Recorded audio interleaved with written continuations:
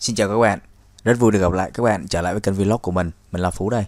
Thì à, mình có nhận được à, yêu cầu của một số bạn nói mình là làm cái video chia sẻ các bạn cái cách làm sao giúp cho các bạn có thể cài được cái Windows 8 lên trên cái à, máy ảo VirtualBox.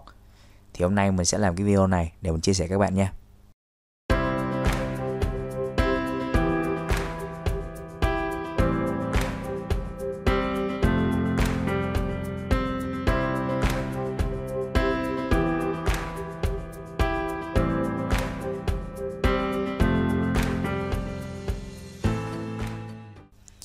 Rồi, thì đầu tiên á, các bạn à, sẽ cài cái phần mềm à, máy ảo VirtualBox lên trên máy nhé.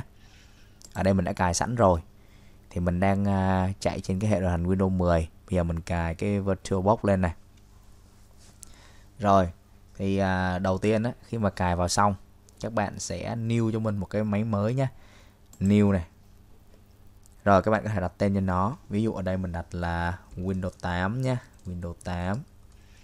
Rồi, à, rồi ở đây mình sẽ à, cho nó là cái uh, phiên bản là 32 bit đi. Để chờ xíu mình coi lại đã mình kiểm tra xem là cái bộ cài của mình. Rồi cái Windows 8.1 các bạn nhé. Windows 8.1 mình sẽ cài Windows 8.1 luôn. Và mình sẽ chọn nó là cái phiên bản 32 bit bởi vì ở đây mình chỉ có cái bộ cài 32 bit mà thôi. Cho nên mình sẽ cài cái uh, bản 32 bit ha rồi cái này chúng ta để Microsoft Windows, rồi bấm next. Cái này RAM thì mình sẽ cho nó khoảng cỡ à, 2 GB RAM thôi là được rồi, không cần nhiều đâu. 2 GB RAM thôi, bởi vì Win 32 bit mà.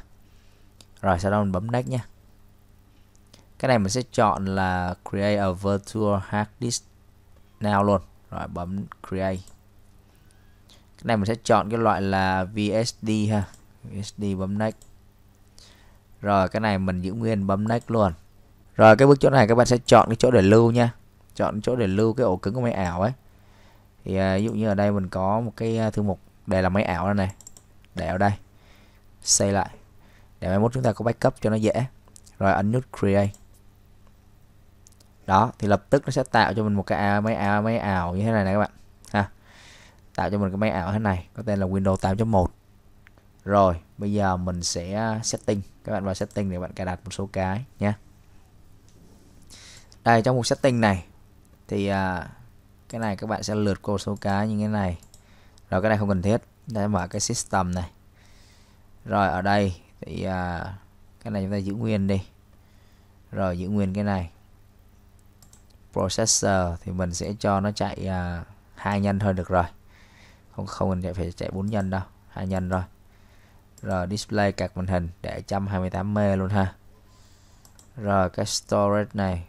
Thì cái này mình sẽ cái chỗ ờ, DSCD này mình sẽ load cái DSCD vào. Thì các bạn chuẩn bị một cái file ờ, ISO Windows 8 nhá đây chu file này.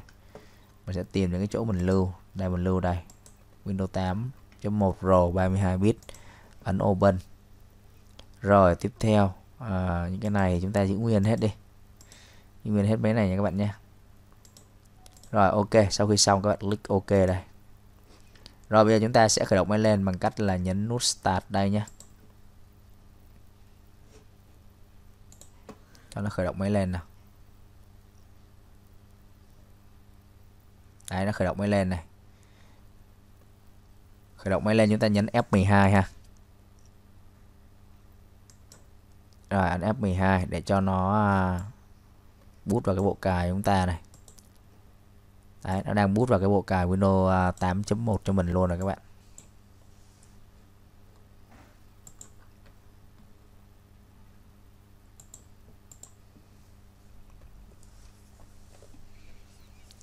Rồi tiếp theo mình nhấn next ở đây nhé, Và mình chọn install nào.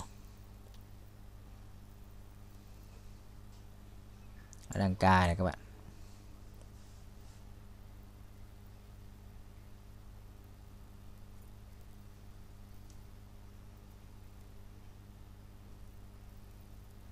Rồi cái bước này thì à, các bạn cứ cài bình thường thôi. Chọn accept này. Rồi next. Chỗ này chúng ta chọn advanced nha. Advanced rồi thì cái ổ cứng nãy mình tạo á nó à, là ổ cứng 40 g và nó chưa có phân vùng ra. Thì bây giờ mình sẽ phân vùng cái nó bằng cách là mình à, new. Rồi mình đặt cái phân vùng đầu tiên là ví dụ như là 20 g đi. Chỉ cần sửa số 4 thành số 2 thôi là được. Cho 20 g để mình cài Windows ha rồi apply này. Ấn OK. Đấy, sẽ tạo cho mình một phân vùng thế này. Rồi còn số còn lại mình new một cái nữa. Rồi để giữ nguyên luôn apply đó sau khi xong mình chọn cái phân vùng trên này để mình cài win nhá, rồi mình nhấn next này. Đấy rồi bây giờ chúng ta cứ chờ cho nó cài win thôi.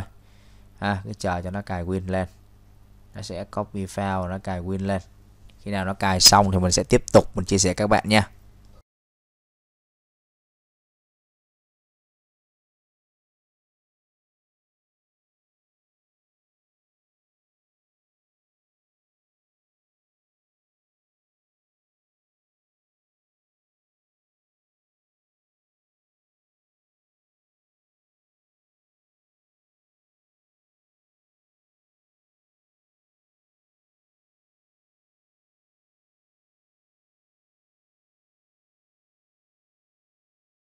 Rồi đến cái bước chốt này thì nó sẽ yêu cầu chúng ta nhập cái uh, số CD key của Win vô ha.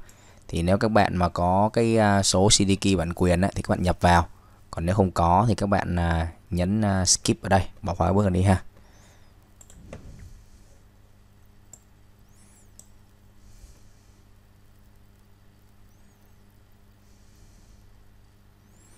Đó, nó sẽ chạy một số bước. Rồi cái bước này thì uh, chúng ta nhấn next đi chọn màu sắc này. Em muốn chọn màu nào chọn ha. Em muốn chọn màu nào chọn. Rồi bấm next ha.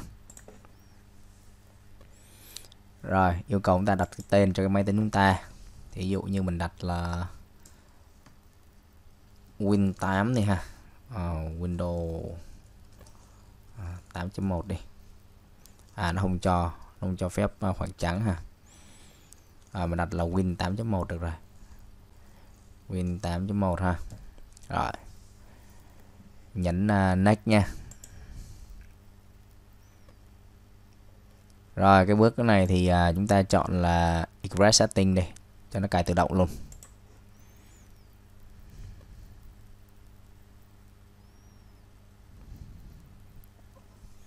À, đang kiểm tra kết nối internet. Nếu như máy chúng ta có cạc mạng thì nó sẽ kết nối internet ha.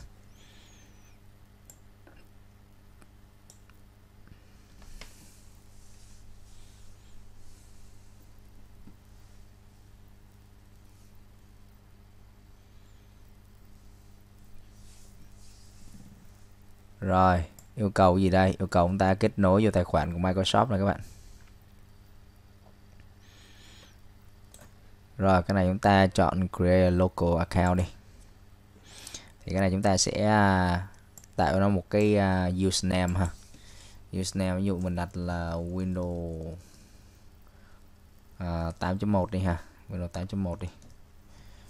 Rồi, password thì các bạn uh, cho vô còn không cho thì thôi rồi nhấn finish Đấy. nó sẽ chạy thêm một vài bước nữa thôi là sẽ xong ngay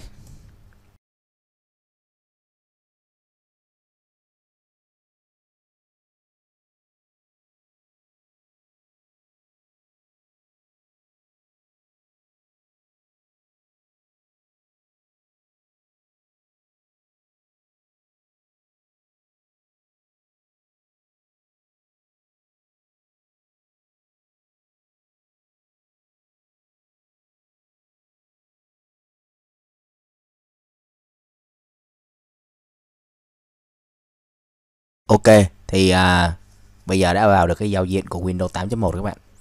Đây chính là cái à, giao diện chính của Windows 8.1 chạy trên cái à, máy ảo à, VirtualBox các bạn ha. Đó. Đây là cái giao diện của Windows 8.1 nè, quen thuộc ha. Rất là quen thuộc luôn. Đấy, thì chỉ đơn giản vậy thôi. Rồi, thì à, cái video này mình xin tạm dừng tại đây ha. Cảm ơn các bạn đã theo dõi và hẹn gặp lại các bạn trong những video tiếp theo nhé. Xin chào các bạn. Rất cảm ơn các bạn đã bỏ chút thời gian để theo dõi video chia sẻ của mình. Nếu như các bạn thấy video này của mình hữu ích, các bạn đừng quên chia sẻ nó cho nhiều người khác cùng xem với nhé. Cũng như là nhấn nút đăng ký kênh và bật nút thông báo để nhận được những video chia sẻ mới nhất từ kênh của mình nhé. Dưới đây là những video hữu ích khác dành cho bạn. Các bạn nhấn vào các hình vuông phía dưới để xem video nhé. Chúc các bạn xem video vui vẻ và chúc các bạn thành công.